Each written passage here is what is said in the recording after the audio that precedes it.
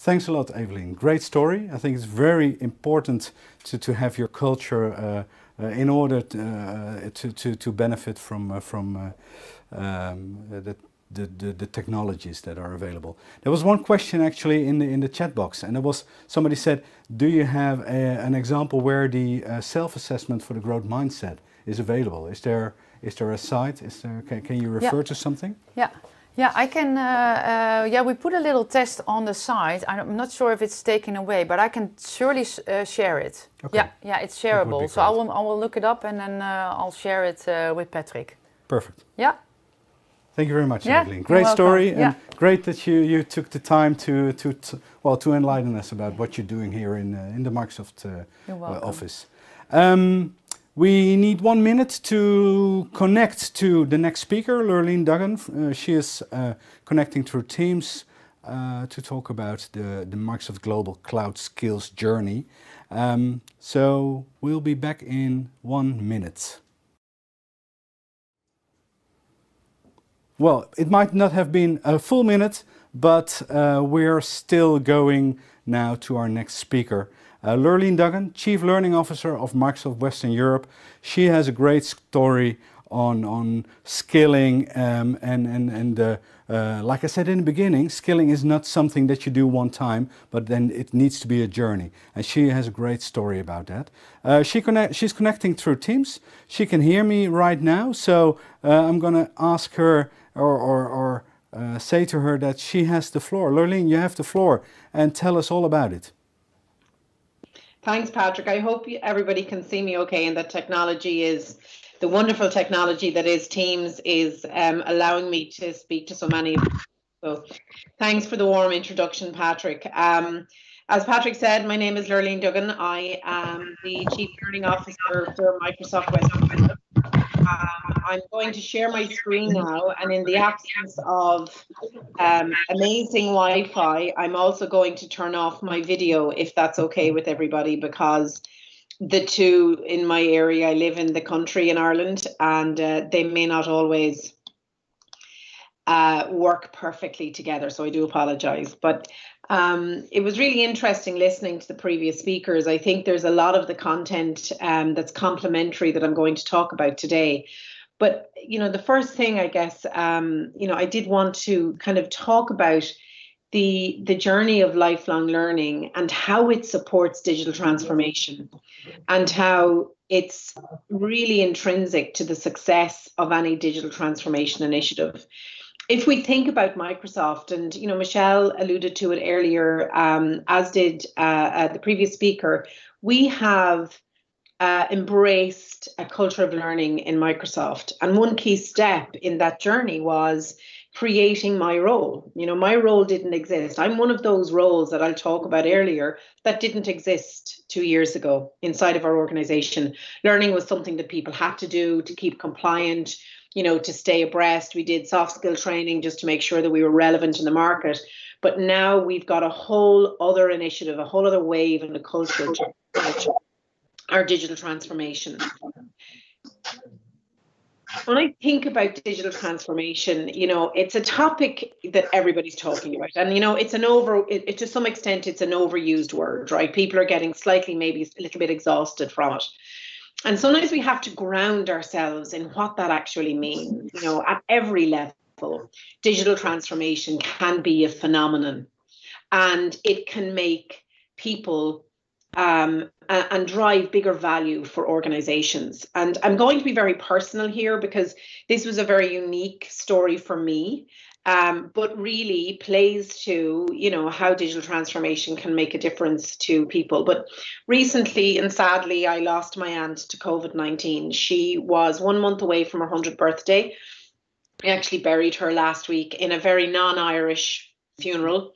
Um, Irish people tend to do good funerals, and we didn't get to do that, and it was very very different. But one of the challenges that we had through this whole pandemic was that we didn't get to see her. She was healthy and fit and well. And on the day that they announced that there were no deaths in Ireland, was the day that we got notification that she was actually terminally ill and she was probably going to pass away in the next kind of 48 hours. So that challenge for us was quite unbearable and it was difficult because we couldn't see her. And she was in quite a small um, rural hospital and I took it upon myself to contact the hospital to see could we do a video call through Teams, had they any devices. And the nurse in the ICU was like, oh my God, I haven't a clue. I don't know. So I actually rang the IT guy. I, I got to the administrator in the hospital who put me in touch with this person, who in turn said, Yeah, okay, maybe I can get this social worker, a young guy who was a social worker in the hospital. And I spoke with him and he said, Okay, so I said, I'll send you a link right in Teams. If you've got a device to open it and we can get it to my aunt and get to the nurses, and maybe we can try and do this call. And we got to do that, right? And it was you know, a couple of hours before they actually put her kind of into a, an induced coma just to try and let her body fight it. Um, so we got to say our hellos. We didn't kind of focus on goodbyes at that point, but it meant that we had that connection. And the nurses in that ICU, afterwards, one of them contacted me and said, I now know what to do. She said, I didn't know that it was that easy. I didn't know that if someone just sent me a link in an email that I could open it on my own phone and hand it to the patient and that moment like enabled my family to talk to a dying relative and that was transformative for them and for my extended family who now kind of you know a lot of them may be older and not as technically adept as you would think or need in this current environment. That's a small little pocket of digital transformation that absolutely drives value for us for me as a family member of somebody who's very ill, for the person who's very ill, but for the hospital. The hospital being able to deliver that functionality in the current environment that we're in today, where we can't go into hospitals to visit sick relatives. That's truly a digital transformation moment. And one that, you know, I think when we hear digital transformation, it can be a little bit exhaustive, and we just need to open it back and think actually, it can be small steps, but small steps can make a big difference. When we think about digital transformation, then, and we move into that kind of, you know, what does that really mean? You know, 91% of leaders see digital transformation as a way of sparking digital and uh, uh, to kind of that transformation, innovation, and finding efficiencies. And some companies are embracing a digital transformation journey and they feel really excited about it. And we can see, and you know, uh, Michelle alluded to Maersk earlier, a customer that you know my team um, across Western Europe work with very closely. And Stephanie will talk about those scenarios later in her presentation around, you know, how to build a training plan with an organization. But just last week, I did a call with Maersk who, you know, are moving 3,600, skilling 3,600 of their, their IT pros on GitHub, right? And we're partnering with them on that platform, on that exercise. So we've seen those really good, you know, kind of uh, uh, focused companies. But we've also seen the and acknowledge that for some the whole topic is causing tension. And there are some legitimate concerns about getting digital transformation right. And in truth future success does depend on making the transition. 64% of organizations feel that if they don't do it they may not be here in 4 years time. That's a big number. It's a big statistic. But let's take a little step back for a moment because there are some things that can help demystify the whole topic a little bit and help you to think about it differently. You know, I believe that kind of if we look at all of the research that we have here, you know, the one cornerstone of a digital transformation is and and and of any company is how you create and generate value generating value, you know, regardless of your industry, every organization is trying to do it to drive that constant value generation. It's been the way since the first business or organization of any kind was formed, right? Henry Ford, when he built that car, he built it you know at that base level that he needed to, to to to deliver value to his audience you know later he introduced color because wow the customer needed color if he'd held the line and said no we're only going to do black other companies would have surpassed him and nearly did. And so the purpose of digital transformation is very simply a process to help your organization find new ways of generating value. And perhaps the greatest mistake or trap that we see time and time again is that companies try to create new value by looking at technology for the answer. technology is not always the answer. It's the support to get you through that, but you have to look at really what is the use, what, how will the use of more technology see things improve? I look at our organization and you know we talk about the culture of learning um, in in Microsoft and there for me there are four pillars to help any organization that's kind of embracing a digital transformation journey and there are four those four pillars are the key ones that stand out for me to look at your vision and strategy to look at your culture what's the unique potential of your organization and what are the capabilities of your organization they're the foundational elements if you know those and you've got a very clear vision then you can really move forward successfully.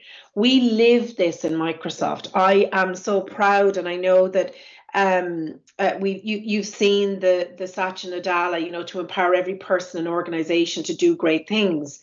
You know, a vision and a strategy really is what sparks that kind of innovation and that passion to to drive. I see it myself as chief learning officer you know, to have the mandate to go and talk to people like yourselves about learning and about the impact that learning can have in an organization is truly a privilege. But I know without any doubt that my leadership team is completely behind me. Vision is perhaps, like for me, it is certainly the most important. It's what directs successful organizations towards that single North Star. The vision is fully articulated in the strategy and it tells everyone kind of surrounding the organization what you're truly working towards. And in every case, the organizations have a vision that tap into human ambition and spark imagination. The vision and the strategy is key to making the roadmap, which clarifies how we'll realize or work towards a vision. Um, you know, the the as I said earlier, you know, the chief learning officer role didn't exist but as Satya started to look at our company internally, as we started to look at transforming our workforce to make them more technically skilled, because that technical agility is what our customers rely on us for. It's what sparks maybe a HR director to go, Oh, I never thought of that.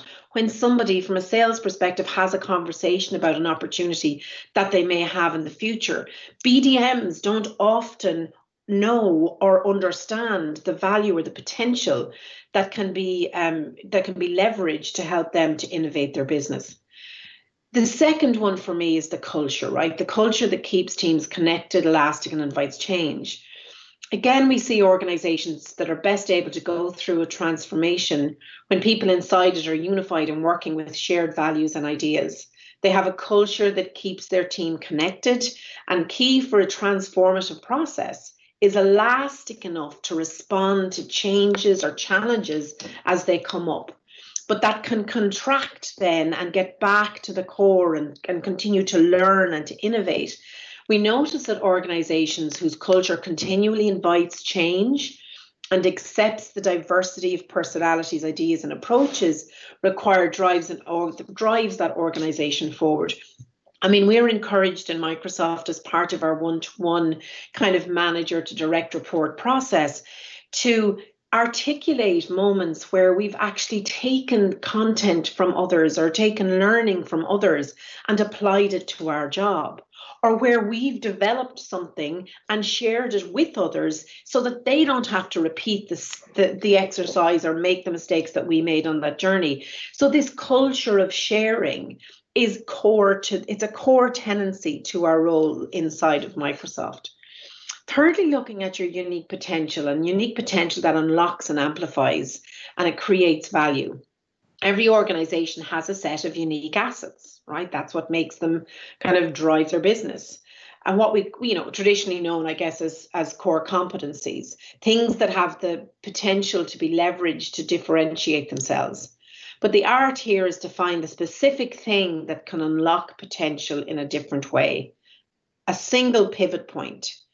And that unique potential can be found in a variety of forms. And depending on the industry and the, and the organization, it can manifest in different ways. You know, for some, it might be found you know, in their physical assets, like we'll say a retail location and proximity to its customers.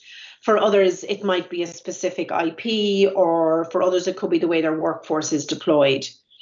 There's a, and that's where the magic lies, like where an organization can uncover or rethink what it has to see it as a unique potential and then figure out how to leverage or amplify the value it creates this is prime this is really a prime area where technology and skills can help unlock value it's the process of shifting from what you have today to what you can become in the future. And you cannot make that journey without skilling without learning.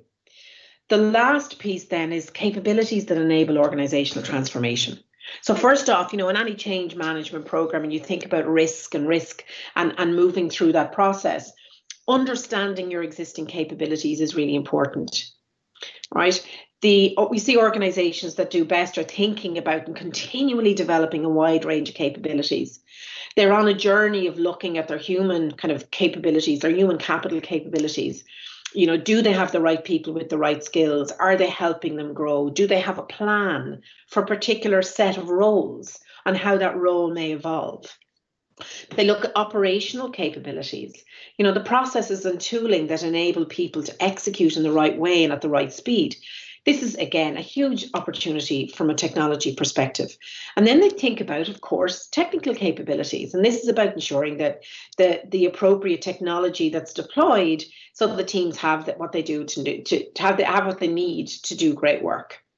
But today, more than ever, successful organizations are looking at their AI capability. And AI, you know, is something that certainly inside of Microsoft, we're really focusing on and building our own internal muscle because we know from all of the IDCs and the Gartners, we know that we're heading for you know a wave in 2022 where we'll have a skills gap in the market that's going to cost us a lot of money and that's going to cost a lot of companies a lot of money.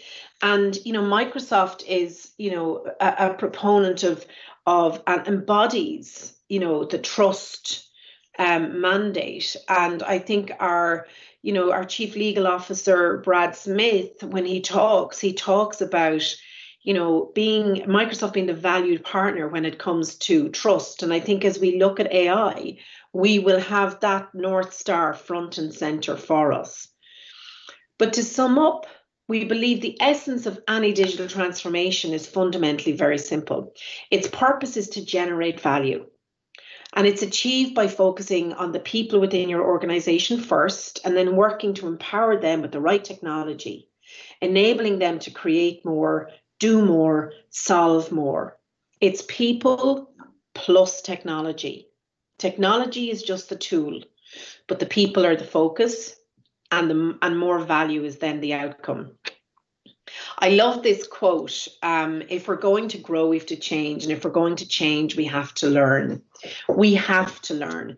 You know, our, our you know, working with um, Patrick and Computrain and across the whole LLPA network, over the last year, you know, we've stood up my team. I have a very new team, a team of training program managers who, you know, work with our customers on building comprehensive skills plans in partnership with our learning partners. And Stephanie will talk about this later. But I think the companies that we see aggressively go after learning are the ones that are driving transformation inside their organizations that are seeing kind of their cloud adoption accelerate at speed. Um, and, you know, Michelle said it earlier, Maersk are a great example of that today. But we can't forget that digital transformation requires new skills. Um, you know, when you've got efforts underway for kind of, we see it across enterprises worldwide. And in the journey, these companies are finding the need to an enhanced set of skills and knowledge to thrive as a digital company. Jobs exist in today's economy that didn't exist three years ago. I'm one of them, right? I am one of those people. And skills required for any job continues to evolve. The average life cycle of a skill that you learn today is five years. Great news for learning partners, great news for, for Microsoft. But if you're a CEO, then you're really thinking about retaining talent, about emerging talent, about growing that talent. And I'll talk about that in a moment. But if you have, you know, that that digital transformation initiative, you want to innovate more, you want to be more competitive, and you want to grow your business. And skills build confidence. Confidence drives productivity, innovation, and growth. You know, we all love to talk about subjects that we're really confident about and you can only build that confidence by teaching people and uh, giving them the skills that they need. So organizations are looking for better ways to help their employees to get prepared so they can truly perform the roles supporting their business. This survey was taken you know from a group of ceos and it was talent critical to success right? That was the perspective. But you can see here that of the CEOs that were polled, 62% was the biggest attracting and retaining talent was their biggest issue. And as we think about the next two years and the opportunity that's ahead of us, that's a big ask because if we don't have the people in the market, if we don't have the technical audiences that are ready for that that kind of IT challenge that's ahead of us, you know, we will be in trouble. COVID 19, 27 million people in Western Europe have been impacted by COVID 19. And when I say Western Europe, in that number, I'm thinking about the subsidiaries across Western Europe, exclude, which excludes the France, France, UK, and Germany. So that's 12 subsidiaries in Western Europe and 27 million people that have either lost their jobs or being furloughed. We've a responsibility in Microsoft to help to get those people moving again, to get them back on their feet. But if you think about the opportunity that that then presents, if we were to say, okay, let's get to 10% of that demographic, that's only 2.7 million people. And I say only, I'm not saying that lightly, but but nevertheless, if you're a learning, you know, organization, a learning partner, you know, there are organizations, there are individuals out there who need to be retrained so that they can migrate and be relevant in what's to come. Then we've got developing next generation leaders. You know, how do we get the people of today, the talent of today, ready to move? And we've got lots of really bright talents. And I love to hire for talent as opposed to experience. I think that's a really good diversity metric as well. I mean, obviously, you know, we've got all of our diversity metrics, but sometimes talent versus experience because the person coming in, developing that next generation of leaders from a CEO's perspective is critically important. Aligning compensation with performance, it's always a challenge. And, you know, a challenge that every kind of CEO, you know, it, it plays right back into that how do you attract and retain talent? If you don't have a good method for compensation against performance, then you may lose that talent after investing in enabling them to join your company. And down right down at the list is reducing cost. Like reducing cost as an internal metric is the lowest of the four. When we look at the external issues that are highlighted in green, you know, risk of a recession, front and center right now for us all with um, the the pandemic. Political instability, not maybe relevant as much in um, in in Europe, but if you put the lens of China against Europe and the size of those economies, you know the European Union have a challenge ahead of them to make us more relevant in them and in that capital market space. New competitors, you know, straight up, it, the the companies are innovating really, really quickly. And there are new competitors coming into the space all of the time. And then declining trust. And it's a really interesting one, I think, when you think about, you know, CEOs worried about their declining trust with their customers. But what gives, we go back to kind of focus on the retaining talent and, and that focus. You know, we need to think about what gives us energy at work. What does make what makes our um, employees want to be with us, want to stay with us self actualization, you know, the mission, the purpose, the personal growth, right top up there. Accomplishment, esteem, meaningful work, progression, you know, how and where am I going to get my next job?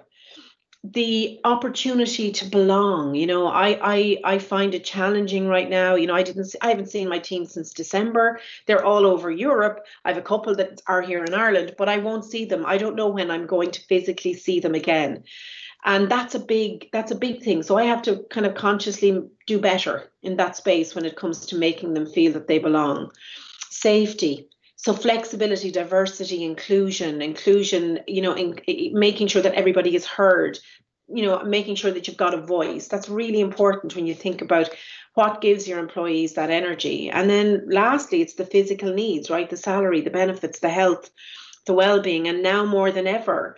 You know i know personally for myself you know i work at home i have children.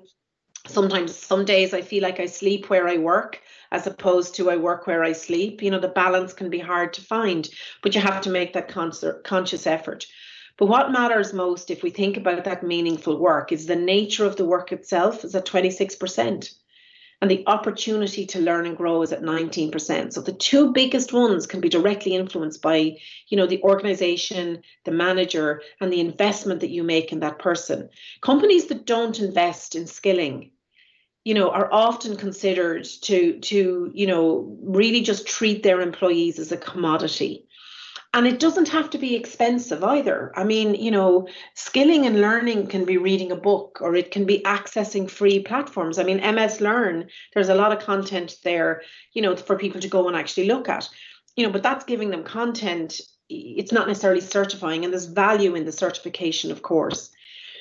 But if we look at hiring, you know, if we think about engineering as a skill, 11% tech engineers growing than non-tech. And if you think about the, and I'm talking about the auto industry, you know, um, and I had this conversation with a friend of mine who owns a couple of BMW franchises, and we spoke about mechanics, and he was like, "Yeah, I mean, it's more of a keyboard now than it is a screwdriver, right?" And that's going to change. Those skills and the skill sets that are needed for those mechanical engineers will change. But what does the future look like? So you know, we, we think about 62% of executives believe that they need to retain or replace more than a quarter of their workforce by 2023. A quarter of their workforce. Nobody wants to replace them, but they'd love to retrain them, right? 70% new jobs will be created which don't exist now in the next five years. 70%. And then we've got an impact, and I spoke about this earlier. There's an impact of potentially 160 billion if we don't close that skills gap. And I believe that, you know, kind of us as a learning organization and need to really double down and focus on this. But the good news is that 74% of our employees are ready to retrain. So generally people are happy and, you know, enthusiastic about taking that opportunity. So we talk about the CLO, the Chief Learning Officer. We are at a crossroad transforming employee learning and you know meeting our customer needs it, we're eight times more likely to be high performers. Think about that. So the employees that you train could potential reach that potential eight times more than they are today. 25% faster at learning skills and they're 66% more engaged. We we we internally in Microsoft do lots of employee satisfaction surveys, but we can see that you know it's certainly that culture is now becoming the norm.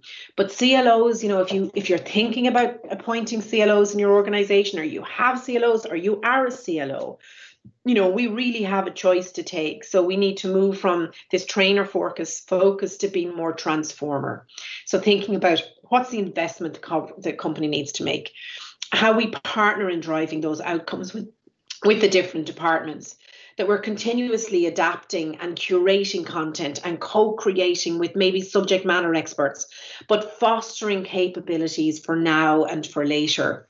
We need to look at goals, developing skills, developing mindsets, the capabilities to help workers perform well now, but adapt for the future, building their skill sets, you know, building the leaders of the future we need to look at how we do that so that learning is more personalized. It's autonomized for the individual.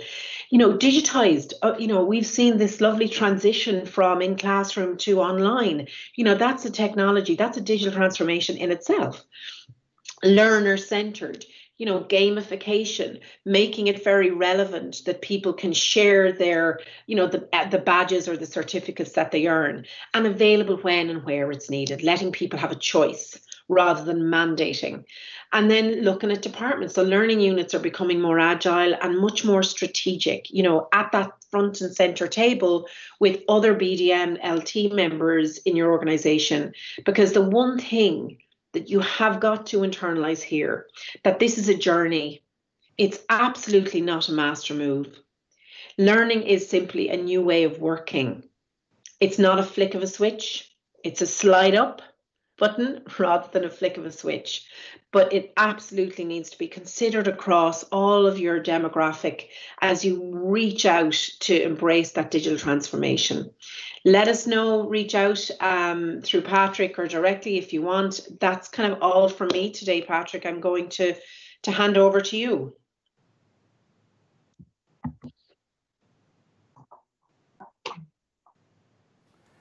Thanks a lot, Lurleen. Great story. Great story. Also, also, this story is very great and good to see how uh, how you address this uh, this skilling journey. And I think uh, you've convinced a lot of people in in the audience uh, that they need to pay a lot of attention on on skilling their people, looking at the culture and. Uh, and, and looking at certification as well. So thanks a lot for that. And now we are going to take two minutes. We have to change a little bit again here. And then after this session, it's like Lurleen said, Stephanie Straub will be here presenting about the, uh, the, uh, the uh, Stephanie is training program manager for the Netherlands and she will talk about the, the, uh, uh, the programs that Microsoft has in place to help you skill your people. So we'll be back in two minutes. Take a bio break, take some coffee, and uh, see you in, in a few.